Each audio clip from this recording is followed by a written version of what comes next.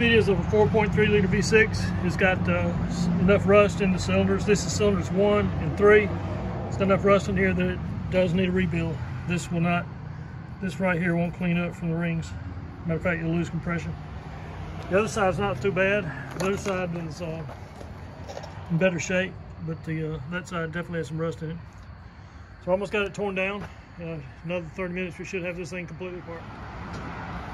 Continue with this 4.3 teardown. Uh, one of my customers asked me a question recently, and I wanted to uh, answer that question. So as you can see, and I pointed this out before, but the V6s have what's called a split crank pin the V8s, this pin right here is one piece, so two rods sit side by side on the same crank journal or a crank pin. But in the V6s, they're offset by 30 degrees. So each rod has got its own individual bearing surface to ride on.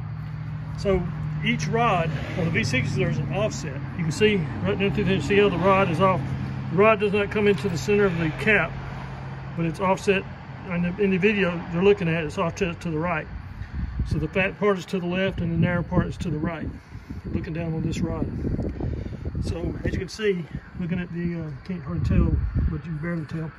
So on this one, the narrow part is facing forward.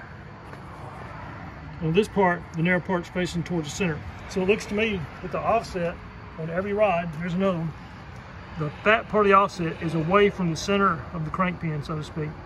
In other words, if you call, if you call the split the center, your fat part of the offset is away from it. And that's true on both all the way around. So that's the key. The fat part is away from the center of the crank pin. So that helps it too. I hope it helps answer that uh, particular viewer's question.